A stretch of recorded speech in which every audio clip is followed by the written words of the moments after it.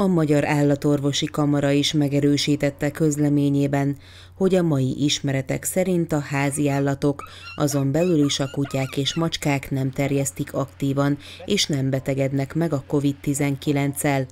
A koronavírus ugyanis cseppfertőzéssel terjed emberről emberre.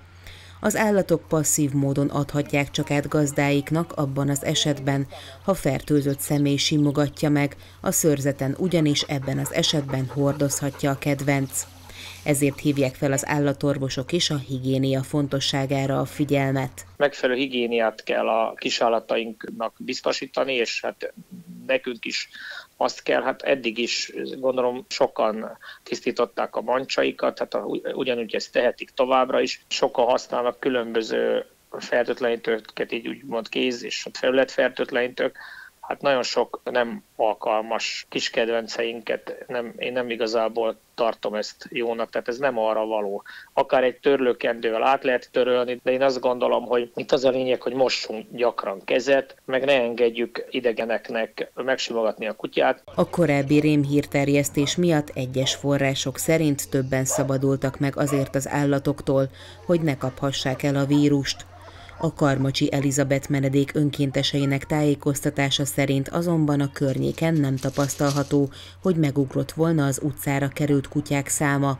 Arra hívják viszont fel a figyelmet, hogy a leendőbeli örökbefogadó gazdik legyenek türelemmel, a menhely a járvány miatt ugyanis átmenetileg nem fogad látogatókat. Most jönnek az ötletek, vagy unatkoznak otthon a gyerekek, és egy kicsit próbálják őket lekötni. Ezt mi nem szeretnénk preferálni, tehát most ez egy kicsit ilyen elhamarkodottnak érezzük, és mivel mi mindenek előtt fontosnak tartjuk azt, hogy leellenőrizzük az adott helyet, ahova mi adjuk a kutyust, mert hogy jó helyre szeretnénk mindenképp adni. Ezt most nem tehetjük meg, tehát mi nem mehetünk ki családokhoz, és nem érintkezhetünk úgymond más családokkal, sem őket nem szeretnénk ezzel beszéltetni, sem magunkat. Ezért, ezért most ez az örökbeadási időszak, ez egy kicsit, még hogyha ez ilyen nagyon bután is hangzik, de ezt most szüneteltetnünk kell. Az országban a menhelyek azonban továbbra is üzemelnek, az állatok ellátására viszont olykor komoly összegeket is ki kell fizetniük.